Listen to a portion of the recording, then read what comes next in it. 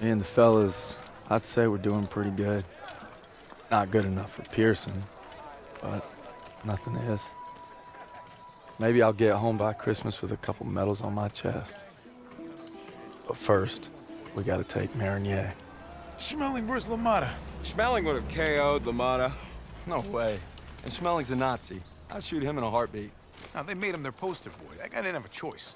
38, Louis Robinson wins hands down. Hey! Look who came back for more. I thought you were out another week. Not after I heard a bunch of tough SOBs were about to take Marigny. Yeah, well, playbook's working. At this rate, we'll be home by Christmas. Don't just stand there. Let's see. All right. Not bad, eh? Yeah, I've seen worse. Glad to have you back, Private.